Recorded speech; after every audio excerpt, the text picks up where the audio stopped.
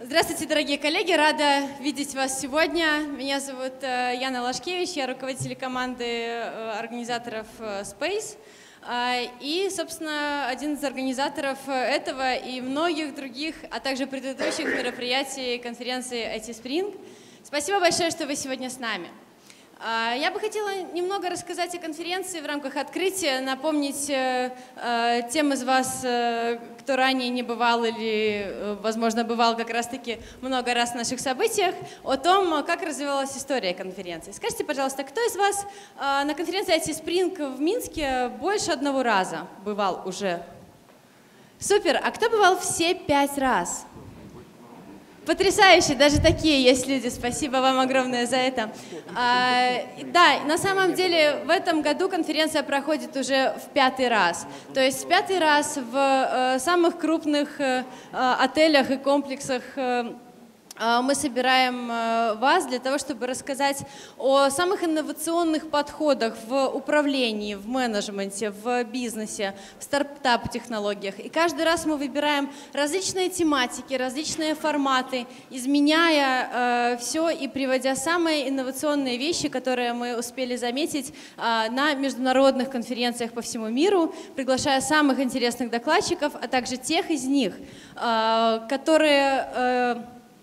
Э, ближе связаны либо с СНГ, либо, собственно, с Белоруссией, как некоторые из наших сегодняшних э, докладчиков, потому что именно они, э, уехав куда-то далеко, уехав за границу, изучали, что же происходит в мире, какие тенденции, имплементировали все это и готовы рассказать нам о том, что нас ждет уже завтра, что нам нужно знать сегодня, чтобы завтра IT-индустрия Республики Беларусь была на самом высоком уровне, самая конкурентоспособная, важное, и чтобы мы э, уходили все больше в э, большое светлое бизнес-будущее в IT.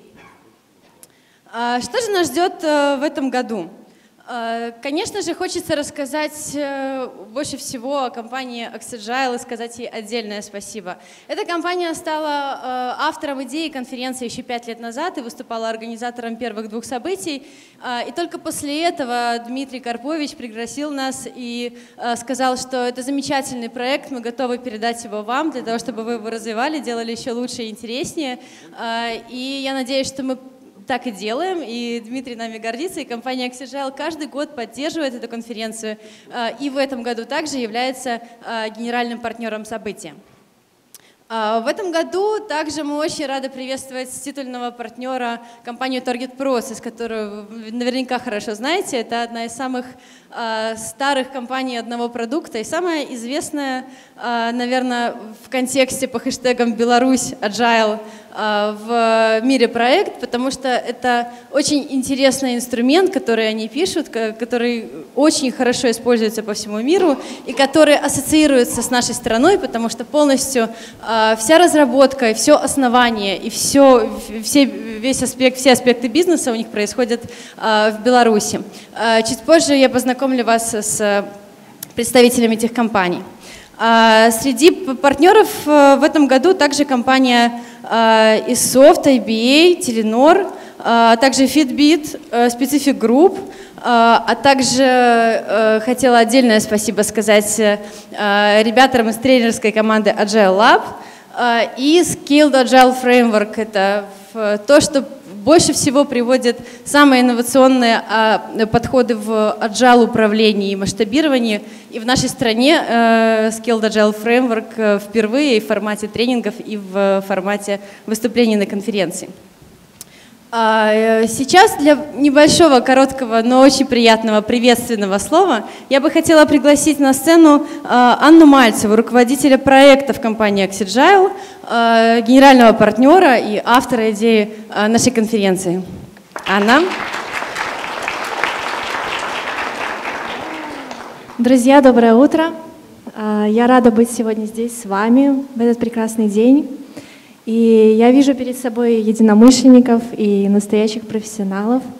Мы готовы обмениваться опытом, новыми идеями.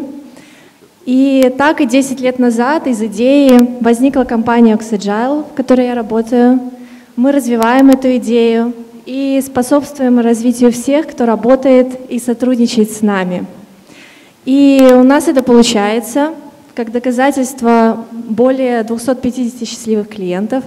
Среди них такие компании, как Discovery, Vodafone, Google, Disney. И мы любим новые интересные проекты. Поэтому, когда пять лет назад у нас возникла идея создать IT Spring, мы с удовольствием ее реализовали.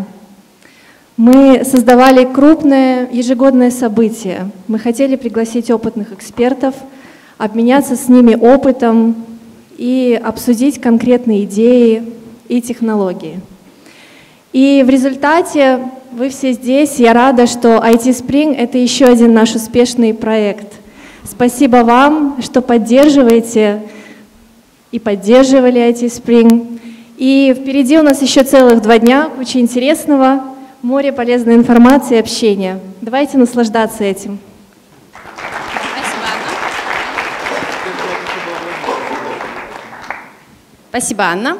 А, собственно, что же вас ждет сегодня на стенде IT Spring? Э, в вашей раздатке вы можете на стенде Axigile на конференции IT Spring. В ваших раздаточных пакетах вы можете найти э, небольшой квест, э, за решение которого вы получите подарочек, а также в 16.05 будет розыгрыш суперприза от компании. Так что, если вы готовы сегодня к небольшой авантюре, к хорошему настроению и немножечко удачи вам не повредит, то милости просим на стенд компании. А, для приветственного слова, э, совсем короткого, но очень приятного, я бы хотела позвать э, сюда э, многим из вас хорошо известную Наталью Ядринцеву, человек, наверное, главное, хорошо нам известное лицо компании Target Process, Solutions Architect решения.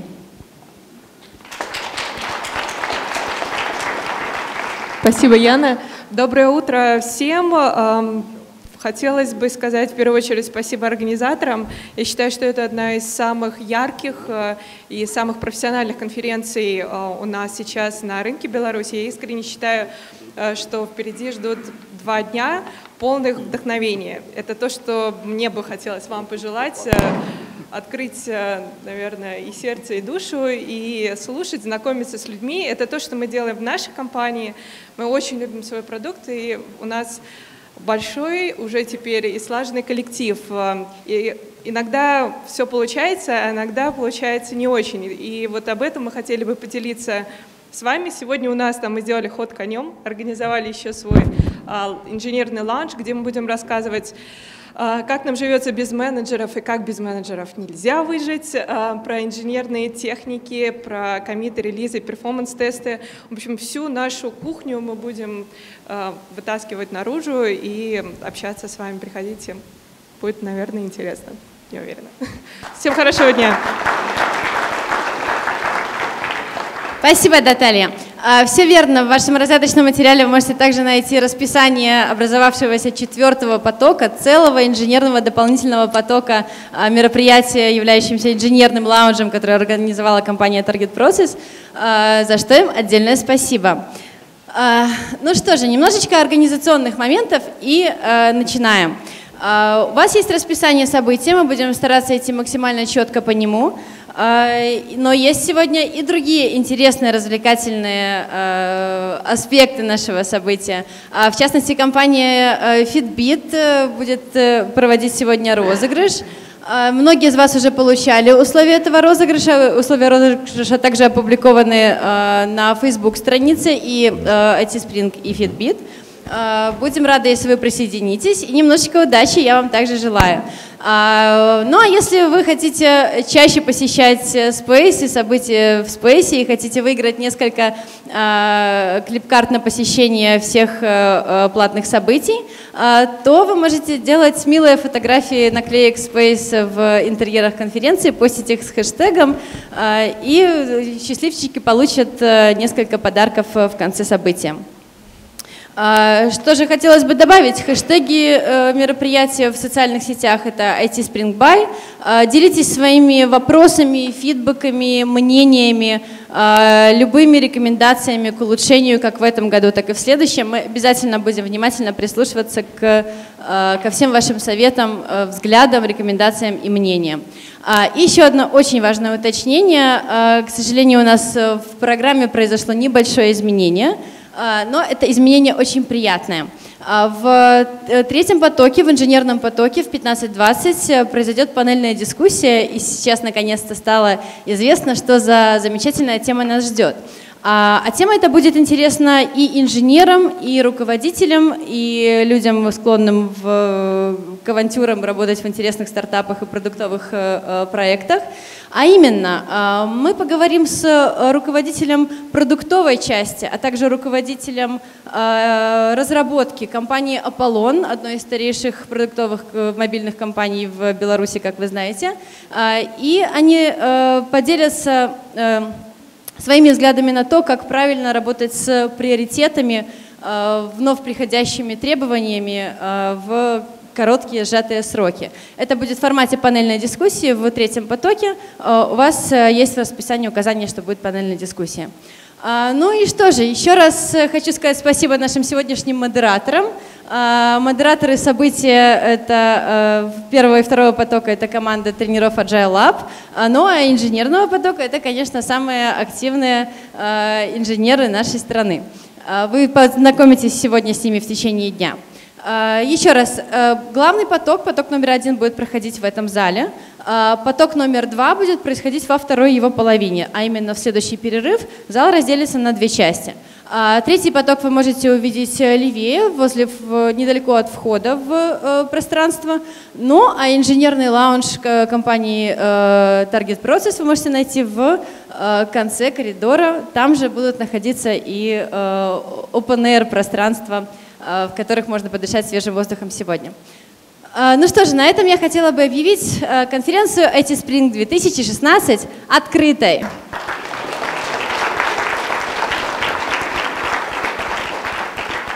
И я передам слово одному из наших модераторов главного потока, Алексею Алексееву, для того, чтобы представить а, первого докладчика а, киноута. Алексей, спасибо. Спасибо, Яна. Э, Приветствую всех. А, Первым докладчиком у нас будет Марко, который приехал к нам из Эстонии и является стратегическим консультантом. А, При этом консультированию помогает э, компаниям из списка Fortune 500 достичь невидимых э, результатов с помощью Лего. И Марко нам расскажет, как использовать, собственно, Лего в поисках инноваций в IT-проектах. Спасибо.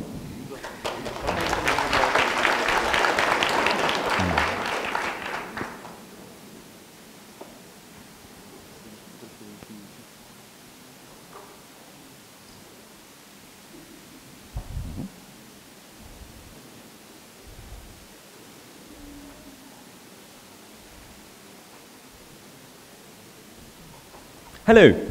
Good to see you in such large numbers, and it's also very good to see that everybody is very actively sitting in the first row. Um, in some other conferences where I've participated, some people would like to be as far as possible from the speaker. So this means that you're ready to be engaged and ready to play. So let's play. I give you one task, and this comes from my first grade uh, grammar uh, workbook. And uh, there was a task uh, that we had to fulfill, ending essentially different proverbs. Uh, let's do it one by one. Easy come, easy go. Correct, that's very good. So better sparrow in the hand than pigeon on the on the roof. Yes, so somewhere flying around. A penny saved is penny penny earned exactly two heads are better than better than one yes exactly something like that so play is already ongoing as i can see here. Um, what you can do cannot do with a mus- muscle you can do with with your brain or with your head. And uh, i remember that uh, i had this workbook and i filled in all these sort of like spaces in a perfect manner. And i had the last one which I thought was perfectly correct, but my, but my teacher disagreed. So instead of full highest mark, she had reduced my highest mark and gave me, well, one less. And I was really angry. So when you see the where is smoke, there is fire. No, well, smoke. Well, as a matter of fact, I thought that the correct one should be where there is a smoke, there is vodka. So, and my teacher exactly didn't think that this one was correct. So, obviously, there is a space for disagreement here. Well, from one hand, it was really a poor educational experience because when you think about the poor, uh, well, poor first grader who gets the, uh, the um, mark reduced just because of one well, solution, what he thought was really correct and really precise, then obviously it creates quite a disappointment. But on the other hand, well, I can use this example in conference speeches now, which means that it provides a very good example of play. Because essentially what we are witnessing here is play of words. And all kinds of play children love. And play of words is especially one of these types of what is quite enjoyable. So different types of play are out there, but what is exactly what makes play a play? So the core essence of a play is to explore, to learn something new about things out there. And when we are born, then we are essentially hardwired to explore new stuff, to find out new things out there. We open our eyes, we start experimenting, we build different towers, and we see, well, how the towers are falling apart.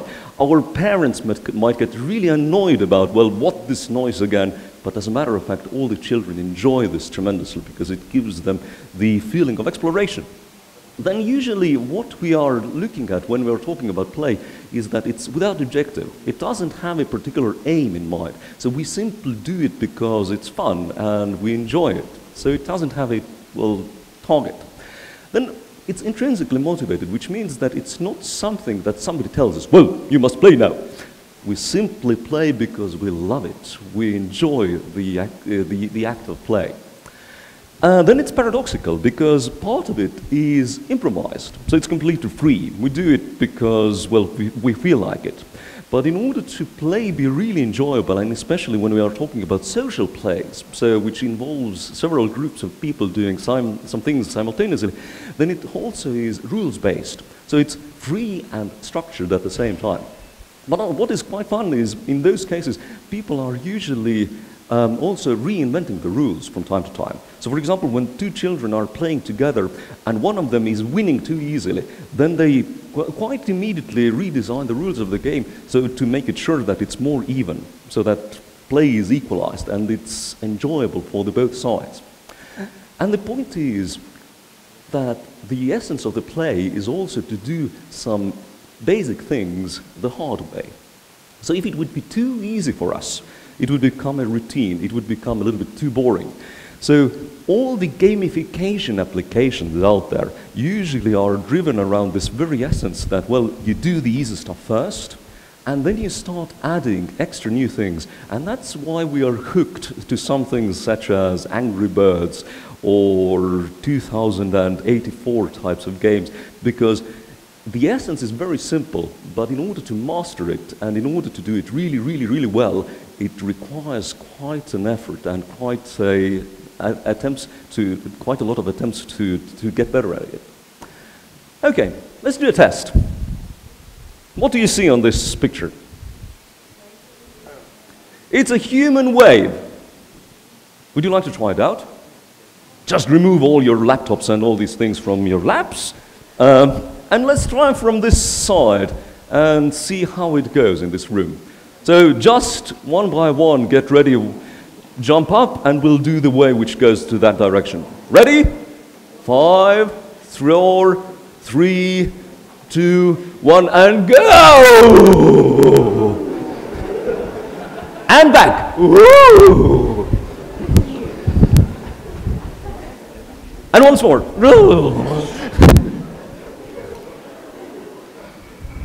How does it feel? It feels fun. Did it have any objective? No, we didn't. Of course we didn't. So we simply did it because, well, somebody told us you to do something. But the moment we started doing it, what happened? Well, look around. There are smiles. For some reason, well, I started, everybody was like that. But now, you're all smiles. So when we are engaging ourselves in a very simple act of play, it, well, feeds our dopamines, and we start enjoying the process. So I'll give you a personal example. Some years ago, I was a movie star, and uh, I did a television show where essentially, well, in every episode, teams of three members went to different organizations and they resolved different kind of management case studies. So the point was re really very simple. It was a tournament where different middle managers from different companies went to other companies to see that whether they can master some of the challenges out there. And we had altogether 32 very nice teams, nearly 100 people from different places, all brilliant, all very nice, or all very engaged in this process. And uh, we saw that, well, what is going to be the result of this? And uh, before the start, we tried to probe on the basis of the CVs which appeared on our production team's desk that, well, probably there are some people who are going to do better at solving these kinds of managerial case studies. And we thought that, well, these are typical manager types. So extroverted, more social, more action driven, goal directed, structured thinkers who are there to get the results. If we would have placed any bets during this process and said that, well, we place our bet on that team to win, well, I would have lost my money. Because as a matter of fact, we found out that it was these slightly playful types who were much more successful as a result in this competition. And the point was quite surprising because we didn't really understand where does it come from. And uh, the other side of me, the researcher side of me, decided that, well, it's um, interesting and let's find out. So we started doing a detailed series of video ethnographic analysis. So we looked at some key moments, how these teams were discussing certain things, and we elaborated the core essence of the decision-making points and tried to see that, well, what were the deciding factors in this process? So how were they really better? And some of the results were quite intuitive. So for example, they were able to get better rapport with people. So they were able to really communicate with others much more easily. And obviously, those who were at ease were also more readily sharing information with them. So they had better information gathering abilities. The second was that they were, in a playful mode, also better able to cope with stress. Because all the teams had only two hours for problem solving. And sometimes the problems were quite complex. So how to really manage a complex supply uh, chain in a company. So you need to really crush your head and try to understand that, well, what are the facts and how to do the actual analysis. Um, so it was short, and there was also attention. So at any given moment, there were at least eight members of the crew that were surrounding these people simply with cameras, microphones, photo cameras, and anybody else. So trying to see that, well, what is, what is happening in there. So they had to withstand all these surrounding uh, factors as well. Plus, later the entire nation was going to look at them. And if they would have failed, yeah, it would have been real embarrassment for them. So the point really was that they could have lost their face. And this probably creates quite some stress, well, if you think about yourself in this particular situation. But the interesting factor was that uh, the most deciding of all these elements was the factor of playfulness itself. Because those people who were the most successful in this competition demonstrated the ability of really trying it out, experimenting, seeing what works, seeing what doesn't. So there was a lot of this in the process that we could observe. And that was pretty interesting. So the point really is, um, have we lost some of this ability in the meantime? And there is this classical example of a Stanford former professor, Bob McKim, who has done creativity research at Stanford Design Labs. And this is one of the predecessors of nowadays design thinking. And they have done various, well, different exercises. And one of them involves essentially drawing into some of these bubbles and trying to see that what kind of things can be drawn. Or another experiment, well, you can try it out now. You can take one of your, these uh, papers where you can write, and while I'm speaking, draw quickly a person sitting next to you. Just a simple cartoon. So just take out your paper and pen and do a simple cartoon of a person who is sitting next to you. Are you ready to do that?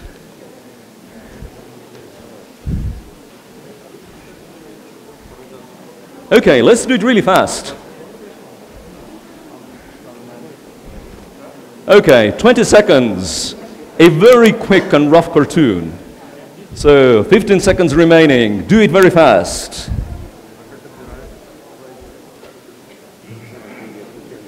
So, 10 seconds remaining. Do a cartoon of your neighbor. You have to jot it really fast, so the eyes, the ears. Five seconds still remaining.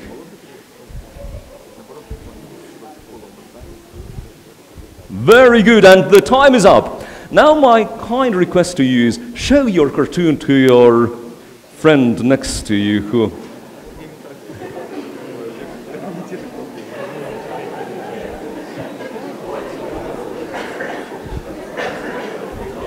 So how did it go? I hear there is a lot of laughter. Some thumbs up. but some of you are also somewhat embarrassed that, well, sorry, sorry, I drew you so badly. Um, if you remember, when you were still studying in kindergarten, you drew all the time your mother, your father, anybody else, and nobody paid attention much to how the result of your drawing looked like. And the point really is that, well, as we grow older, then at a certain point of time, we are starting to be judged for the creativity. And there are even people who say that they can pinpoint exactly the moment in their school or kindergarten when somebody said, well, what you drew was really ugly, and that at this very moment you decided not ever to draw again. Uh, despite the fact that you are really able to do the drawings as nicely as possible or as you are finding it suitable. So we really mistakenly judge the ability of being creative by the results. And we think that we are not creative, we are not playful because the result is embarrassing to us. But as a matter of fact, we can also look at it from the other angle and say that, well, let's try it out. When was the last time you drew somebody's face? Years and years ago, I hear, hear the voices. So you can try to do it more often, and by practicing, you might be able to do these things also in a lovely way. So let's look ahead. So the point really is that when we are talking about creativity, it's really closely linked to play. And the misconceptions about play are also in our working places. So it means that, well, the traditional saying is that you should not play at work. You should do play while at home, but at work we are serious. But this is also play. It's a play of seriousness. So we go to work and play being serious. Well, there are some companies who have tried to install some elements of playfulness in their working atmosphere. As you can see, some of these sliding tubes, well, which are in some of the offices. However, we can say that only very few people actually engaged on a routine basis in some activities that, that are playful, that are uh, oriented towards some sort of game activity at their work on a regular basis. So it comes obviously from our preconceived uh, understanding on how a functioning workplace should look like, well, and how it was two centuries ago.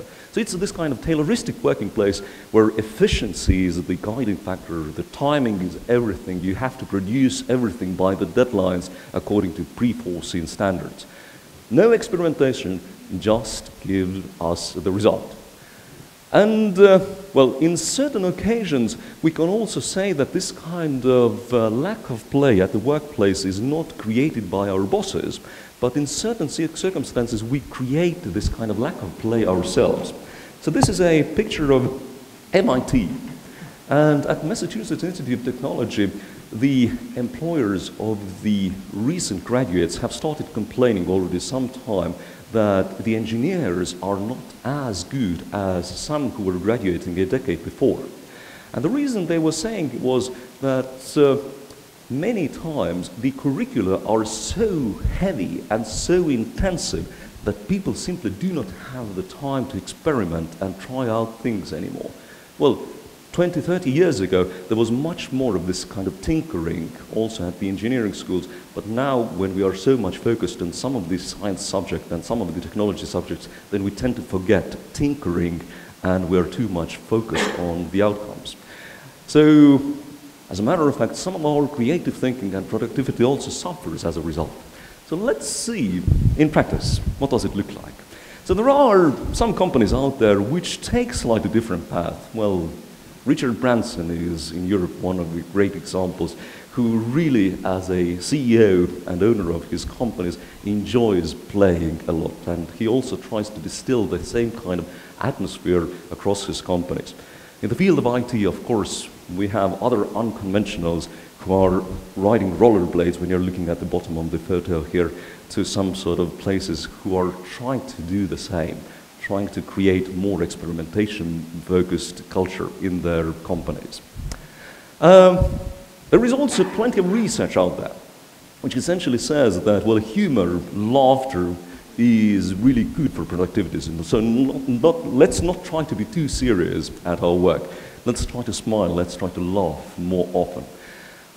There is a wonderful person at the United States leading the National Institute of Play called Stuart Brown, who essentially has studied, well, animals at play, who has interviewed former convicts, and the results of their studies demonstrate that many people who later in their life come to be bullies or psychopaths or armed robbers were deprived of play when they were growing up.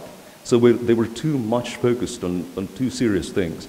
So the opposite of play, therefore, according to their research, is not work. The opposite of play is depression. So the less you play, the more likely you're going to be depressed. So, my own PhD researching this matter. So I thought that, well, let's start, start doing research. Well, exciting stuff. Well, these research conferences, are, these are some of the real life pictures of people listening to some of the conferences. And uh, I decided that, well, let's see the balance between efficiency and innovation in some of the organizations. And the point is that, that really, well, there are companies who need to be efficient, but there are also companies who need to be innovative. And in best of their qualities, these should be there both at the same time. But there are also companies which decide to do it periodically.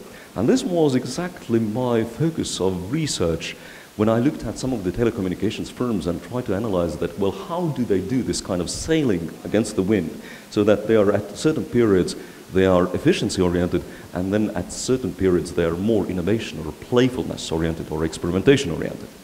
And what I came to conclude was that looking at some of the historic data and actually making also some of the executives play with uh, Lego bricks, for instance, the previous research suggested that it would be a good idea if the companies in these kinds of modes would be doing some sort of short bursts of exploration and short bursts of innovation.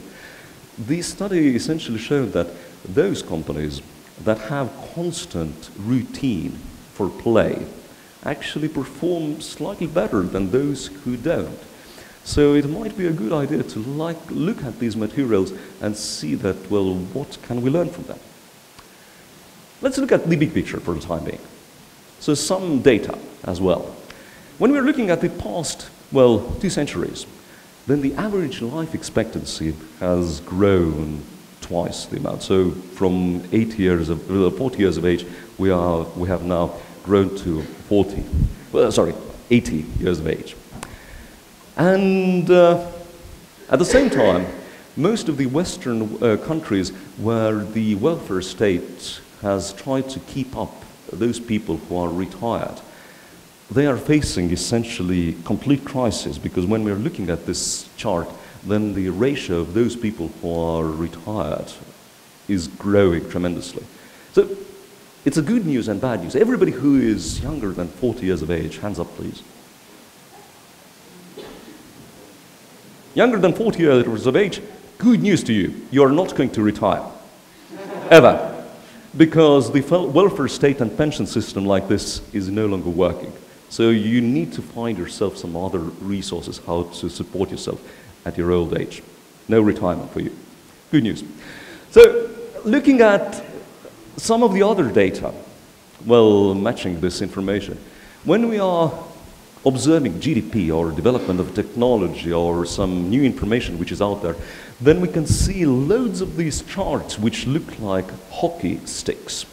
So steady, steady, steady, steady de development, and during past 30, 40, or even sometimes 10 years, there is this exponential growth. So looking at this kind of thing as well, we, have, we can really say that it's Homo innovaticus which has born. This is a division test for those of you who are sitting at the very back of this room. Can you see what is ever written on this page? So think about it. iPad is just five years old invention. Facebook was not there until just a decade ago. Some things which we now take for granted and we almost cannot live without have only been just recently invented. So all these kind of things that we need to somehow observe, uh, observe and also digest has grown exponentially. So looking at the different revolutions, well, there was a steam revolution, there was an electricity revolution, there was electronics revolution, and now we are talking about the cyber physical systems. So there is a possibility that with GD, uh, with 3D printing, uh, we can create our own internal organs. So when our heart is failing, you can go and ask it to be reprinted and then implanted to you. It looks uh, quite interesting, uh, but on the other hand, also scary.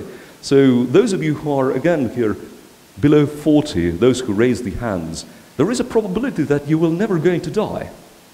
So because all your internal organs are going to be replaced within your lifetime, if you are in good health. So you're not going to get retirement, and you're never going to die as well. What a nice prospect. And all this kind of um, technological innovations which are taking place all the time at uh, exponential speed. So this essentially means that you need to learn and unlearn all the time. So that's the picture out there. So the point really is that there are hundreds of jobs out there which are going to disappear in next decade. So how many drivers are there in your country? So all of them will be probably out of work within the next decade or two with self-driving cars, everything else coming up. And they need to relearn, they need to change their behaviors, they need to completely change the, their, their structure of thinking. And when we're looking at this kind of chart, then all these kind of uh, activities which are more, more mundane and more routine focused are going to disappear. But those activities which require some of these keywords, playing around, experimenting, are probably going to be there. So when we previously said and observed that, well, play at work maybe is not such a good thing, then let's put it from a different angle and say that play at work is must. Because various kind of experimentation techniques are essentially play. We try things out. There is a new gadget. In English language, we are even saying that, well, we are playing around with this gadget and trying to see that what its options are. So play is everywhere. So study, play, innovation, learning, games, imagination, exploration, all these words are going to be really, really, really important during the coming years. And it's quite interesting to see that how are we able to tap onto this intelligence, which is not, low, not uh, any more fact-based, but which is much more focused on something which is created. Well, some more of my personal stories. I earned quite a lot of living, in addition to being a management consultant, by simply playing, playing with bricks. And I have a diploma for this as well. And these are a couple of photos from the training when I was attending at it at uh, Billund in Denmark on Lego Serious Play certification. This was the first day. So everybody, when you look at the body language, are slightly careful. Second day, getting interested. And the third day. So everybody standing up, actually doing things very much engaged and very, very much involved. So what is it about this kind of play that is interesting? This picture comes from the Natural History Museum of London, and it shows two people, and the body parts are proportionate to their cortex areas in the brain, which shows that, well, really big part of our brain is wired to deal with our hands. So this is the reason why we have so strong thumbs to send the text messages, because this is simply so much focused on our brain activity as well. And the core essence of this is that we use bricks in this particular occasion not to have things built, but we use them as the aid for thinking. So do not think to build, but build to think is the core essence of the methodology. The other thing which is associated with this activity of Lego Serious Play is telling stories. So you remember when you were a small child and you were playing in a sandbox, you had, well, these different devices. I have this thing, and I call this now a aircraft. Or I will say that this is a magic wand that I can use. Um, we give meaning to different material objects all the time as children. And we can use the same kind of skill as we're grown up. And we can use this also to tell stories, because this is also imaginative play. We tell stories and we engage people for social purposes, and we also create some sort of new fields of understanding. What do you see on the picture here? Plane. What else do you see? It's a Lego brick, yes. What else do you see? Sorry? Uh, black square? Yes. Yes. Catapult? The frog? Yes, okay. So all these things are quite interesting. So when you think about these things, and let's start from the backwards. When you said that frog, a frog could be a symbol of what?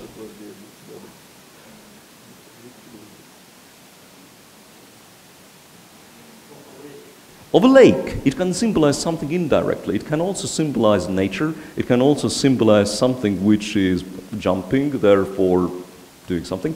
When you think about the catapult, what can this be a symbol of? War, conflict, quicks, quick activities. Then uh, a plane, what is this a symbol of? Travel, freedom, speed. So all these words came really easily. And all these kinds of metaphors and associations that come in our mind, they are actually the tools for storytelling. And these are things that we can actually use our, at our work on essentially on a daily basis. So the point of the LEGO Serious Play as one of the structured activities is essentially by going through these phases, somebody presenting a question, somebody builds a model, somebody gives meaning to the different LEGO objects, then telling a story, creating a landscape, then creating connections, testing and generating principles. This is essentially a tool for doing actual work of planning something out in your own work. So it can be a prototype for a new product, it can be a prototype for a service, it can be a story of how do we handle a particular problem in our daily work. It can be something which is associated with uh, creative skills building. It can be a tool for learning, it can be a tool for explaining something to somebody else. So the point really is that when you engage people like this, you make them contribute also 100% because this shows now that a play also engages people and it motivates them. So the intrinsic motivation starts working. So the usual meeting versus the lean forward meeting, which makes everybody actively participate. So, a couple of interesting stories from my experience as a Lego player. In one of the companies, which was an energy firm, there were groups of people who were building very complex energy solutions. So, power plants, the power lines, stuff like that. And there was one group who simply took a bunch of plasticine and built a huge resource mine where this stuff was extracted in order to produce electricity and put simply a, one small Lego brick next to it and said that this is the rest of the company. And all the other people in this room said that, well, do you really see our company like that? And they said that, yes, of course, because, well, 90% of our income comes from this electricity that has been extracted from the mines. And the rest is just small, tiny bits. So before, they were discussing their company as if they had perfect understanding of each other. But now they realize that even though they had worked side by side for 20 years, just playing for 15 minutes, they realized that their understanding of their own business is completely different. And it gave them the full understanding on how the differences can be then overcome and used for different purposes. So uh, another recent challenge related to addressing some of the introverted people. So what do you do when you are working at the IT companies? Because there are different people. Some of them are extremely outgoing, extremely client-focused, but there are some people who are really like this, doing extremely good code, but they don't speak a word during a week. And maybe there is a one word per month which comes out of their mouth. And uh, it's quite a difficult challenge because you need to collaborate as a team. And when you have some of these extreme introverts who are not willing to participate, who are not willing to share, how can you engage them? And there was a tool that we trust, also tried to engineer around it. So, for example, these engineers who are much more discovery and exploration oriented, we were focusing on the instructions which were much more turn based. And for them, the game was, aha, it's interesting when I read the line of the code and I, when I move to, to the next line and then I see and find out what kind the result, end result is out of the game. The second, the architect's time. So different game again. They are enjoying uh, creation considering different kinds of constraints and limits. And the designers in the game, they look at the possibility of doing visually creative stuff. So all these kinds of play are actively in use in most of the IT companies. Probably you recognize some of the work here as well. And the main challenge for you certainly is that, well, you know how you play yourself, but how do you make sure that also the others with whom you are working on a daily basis, with whom you are playing ideally on a daily basis, can have some sort of rich outcomes as well? So, there are really different types of play. This is a slide with death by PowerPoint. You don't need to read it all. But the point really is that there are different types of play. And not all players in your company need to play according to the same schedule and, or the same template. So let's try the different types of play here as well before we wrap up. So let's do a social play. Again, please stand up and face each other in pairs and shake your hands using the left hand. Left hand, please. Not the right, the left hand. And then shake the left hands with the other neighbor and see that, well, how does it do? And once you have done, then get to know each other. So say your name to the others as well. The left hand and the, and the name. Very good.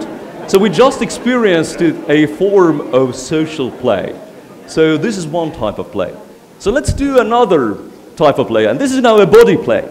You are not allowed to speak, but you have to face your neighbor, and you have to use your body to make the other person laugh. So whatever you do, you must make the other person laugh, and this other person must laugh. But you can only use your body.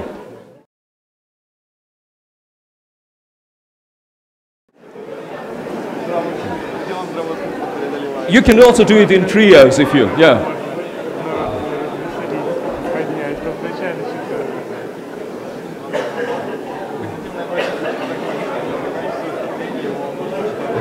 No speaking, just laughing. Very good. So let's do third. Now let's do a word play and agree which one of you is going to start telling a story to the, your neighbor. And while you tell a story, then the neighbor has a challenge.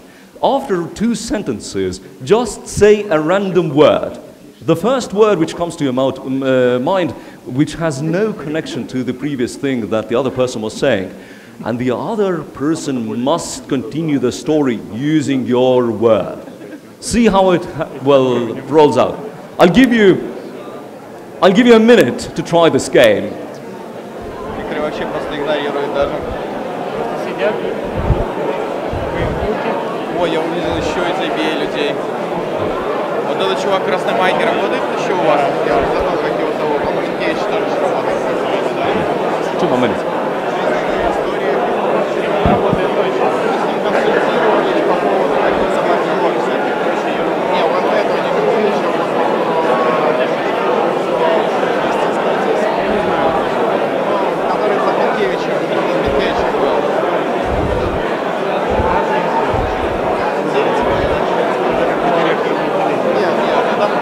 All right. Thank you all. You can give yourself a round of applause.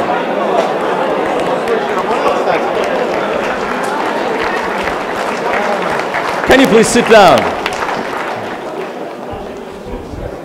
So we just experienced three different kinds of play that you can use in your work in the future or any kind of other social uh, uh, encounters. Just to wrap up, there are plenty of companies out there who are doing different kinds of playful tools in their practice. At my native Estonia, there is one company which is called ReachU. They are doing maps.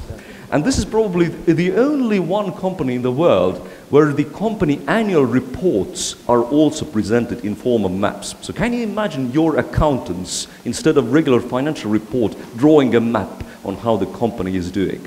So that's just an example. Um, just two kilometers where, uh, from where I live, there's the Skype Tallinn office. Their office also looks lovely like home. They have pets running around. They, they do use different kinds of playful techniques as well. There are some office workers who go around and play something different. So they simply go around and sell vegetables and fruits during some, some days just to do something different as well. So the point really is, my recommendation, if you would have to take one takeaway, then I would really love to see that in addition to lifelong learning that we're all talking about so tremendously, that everybody in here would also engage in lifelong playing. Thank you.